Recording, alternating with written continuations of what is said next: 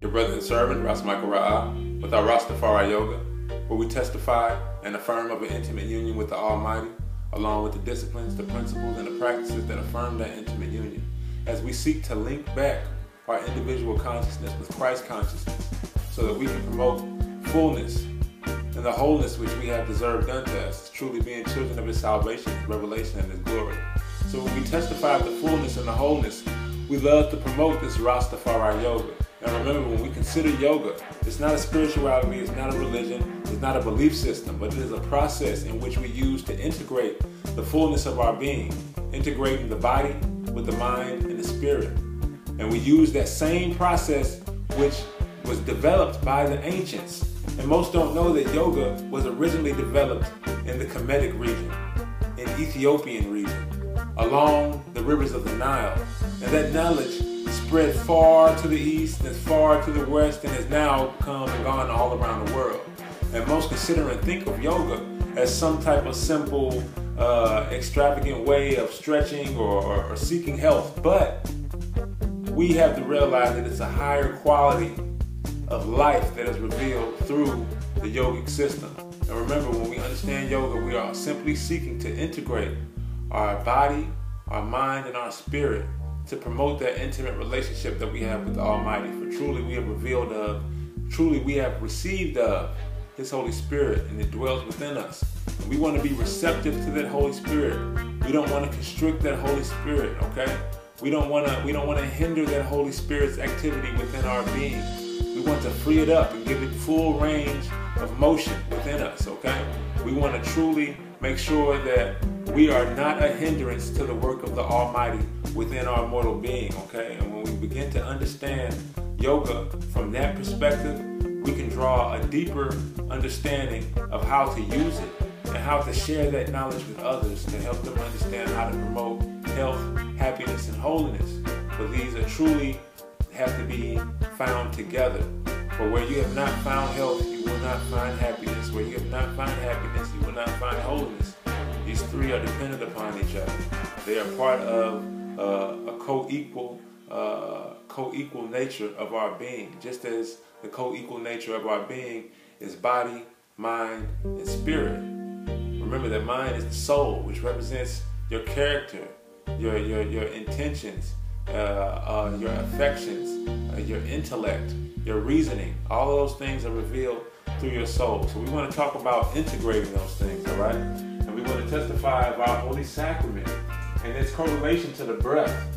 And most don't understand the deep correlation between the herb and, and the breath. But all of yoga, the yoga, the yogic systems were developed from them studying this holy herb and the, the, the, that age in which mankind utilized this holy herb and promoted a golden age. And that's what we want to testify of, being truly those who are from the beginning, all right? Remember, as it was in the beginning, so shall it be in the end, because being blessed with that new name of His Imperial Majesty Emperor Haile Selassie I, we receive all of that that was given to our ancients. We receive that ancient knowledge. We receive the history and the mystery of that which is being foretold and revealed upon those who lost their heritage. And it's now being returned sevenfold. So as we seek to testify uh, of this intimate union with Almighty, we also have a responsibility to testify of all the righteousness, all the works, and all the uh, useful knowledge that was shared unto mankind through the ancients. And we want to appropriate that knowledge and make it useful. Remember, Christ said that He sent us to reap from which we have not sown, okay? And remember, our ancient brothers have sown this knowledge of the yogic system. So we want to reap of it, okay?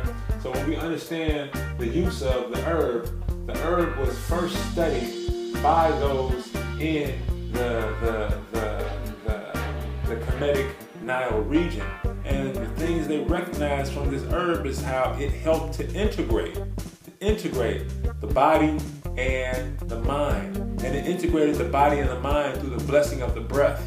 Now, interestingly enough, when we consider the Hebraic language, when we consider God's word, we realize that there is no difference between the word breath, the word spirit, and the word wind.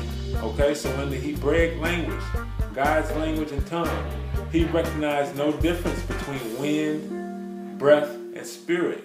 So we have to understand that these are all three different densities of the same singularity. And that is revealed in God's word. So when we begin to understand the way in which that spirit, that breath, that wind works within us, it gives us a sense of responsibility to, to, to apprehend that spirit so that it can help us to sustain our, our being, being body, mind, and spirit. And when they're fully integrated, we have a heightened sense of health, uh, a higher awareness, and just a, a greater quality of life in which we can promote health, happiness, and holiness.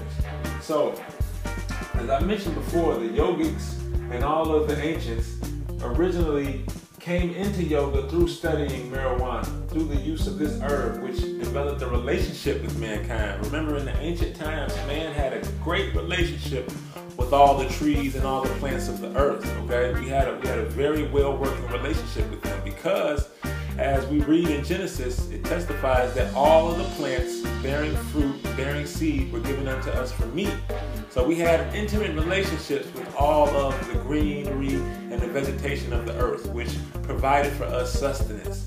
And in having that intimate relationship with all the sustenance provided by the plants and the trees of the earth, naturally we became into an intimate relationship with this specific tree, which uh, in the ancient times was considered the tree of wisdom, the tree of knowledge, the tree of understanding, okay?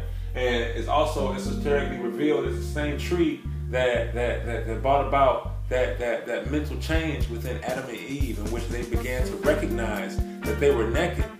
Once being naked, now their, their consciousness was expanded and having the ability to know the difference between good and evil. So that was first recognized and corresponding to the relationship of man with a plant. Okay, and the Bible testifies of that. That that change within mankind came because of our relationship with the plant. So let's take that knowledge and let's bless ourselves according to what has been sown by the ancients, all right? So we see here that the body, mind, and the spirit are different densities of the same singularity. So just as we understand the, the uh, just as we understand the element water, H2O, two hydrogen atoms, one oxygen atom creates water, right? All right, but there are three separate densities of that one singularity, being uh, in its solid state, ice, in its liquid state, water, in its gaseous state, vapor. Okay, see how these three singularities, these three uh, different densities represent the same singularity? Same way as our being, with our body, our mind, and our spirit all operating within uh, co-equal unity. And we want to promote that co-equal unity only through through through integrating the mind, the mind and the body. And the only way to integrate the mind and the body is through the breath, through the spirit. And that's why when we see when we read creation, as we were reading the Bereshith, uh, our first Torah portion last week, it testified of God breathing life into the nostrils of Adam. And when he breathed that life into him, remember, he had already created him as a, he had already given him a physical body. What he needed was to integrate his mind with that body, to integrate his soul with that body. So when he breathed the life into his nostrils, he became a living soul, meaning he became he became engendered with, with, with energetic life principle. Okay? And we want to promote that energetic life principle, which was first promoted, as God did through the breath, which he breathed into the nostrils of Adam. So we understand that the breath has a responsibility in integrating the harmony of the body and the mind. And that is revealed in the book of Genesis, which I was just testifying of. And when we begin to understand the responsibility of the breath, then all the knowledge of the ancients and the yogic system begins to make sense, okay? And also, our utilization of the holy herb, marijuana, begins to make sense because what the herb does is it has an effect on your autonomic nervous system. You have two, you have, you have your autonomic nervous system and your parasympathetic nervous system, all right? And your autonomic nervous system operates, uh, uh, it operates uh, in an unconscious reaction. For instance, right now, who's making your heart beat? Who, who's, who's telling what, what what part of your conscious mind is is, is cause, causing your heart to beat? What, what part of your conscious mind is causing your lungs to, to breathe? What part of your conscious mind is, is balancing the pressure of your blood so that none of it begins to squirt from out of your skin. What, what, what is it that's doing that? This is your autonomic nervous system, which has a relationship with the cannabinoids found within the holy herb. And what it does is it allows for dialization, dilate, dilation of your of your blood vessels. So when you have a blood vessel that is constricted, when it's dilated, it begins to open.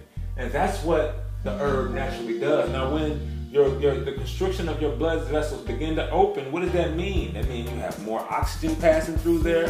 That means you have more nutrients, more minerals. Uh, you have you have more uh, blood cells, white and red, passing through there. So that means that you have more of the life uh, essence being um, circulated through your being, and that also promotes and helps us to to to to, to be filled with that with that life-giving essence of the Holy Spirit, okay? And the herb facilitates that life-giving essence of the Holy Spirit, blessing us to be uh, having a higher state of awareness and, and strengthening us to to to truly operate according to that spirit that is within us as we have uh, learned and testified of integrating the mind and the body through the blessing of the breath, okay? So when we run, and this is something I'm, I'm gonna do a video on to help give us a deeper knowledge of our exercise portion. When we run, uh, when you run, you naturally begin to make a relationship with the air around you. For instance, if you dip your hand in and out of water really, really fast, you'll recognize the water begins to spread and go everywhere. But if you do it in a specific fashion, paying close attention to the way in which you are interacting with that element, then you'll begin to realize that it's not as much splash, it's not as much of a mess that you're making everywhere. And that's the same way it is with the breath. When we breathe while we're running or exercising, we want to do it in a fashion in which we are not constricting or we are not hindering the breath within our being. And when we begin to make a relationship with breath, then we unconsciously begin to train our lungs to operate without constricting the breath within us. And remember, the breath within us is that which supplies us with that life giving essence. How many days can you go without food, brothers and sisters? How many days can you go without water? Now consider how long can you go without oxygen? Can hardly go uh, maybe a minute, maybe a minute. I know some real good swimmers out there and deep divers who can probably do up to five to six or seven, maybe maybe even more minutes than that. But we know when it comes to uh, uh, uh, our our receptivity to the to the to, to life, it is truly dependent upon that that that that oxygen that, that we find within our lungs, that oxygen that promotes the life-giving essence within our being, okay? So when we look at it from that perspective, understanding the use of the yogic system, understanding the use of the holy herb, and understanding the way it correlates to our fullness of being, uh, which is promoted through the breath, then everything begins to make sense. And then that which we know in spirit, we begin to have an intellectual understanding of. And that's why it's our responsibility for those who, uh, who, who, who have been trotting this walk and have begun to fill their cups. When your cup begins to fill, it's your responsibility to spill. He who knows should teach, all right? And we have to be willing to, to share this knowledge with each other so that we can begin to, to, to, to draw each other towards the newness of life that we have received in the new name of His Imperial Majesty, Emperor Haile Selassie I. So I salute all of the I, and Jah willing, I and I will be back shortly with, with, with, with more informative things that help us to affirm our intimate union with the Almighty, along with the disciplines principles and the practices that affirm that intimate union. I give thanks and praise.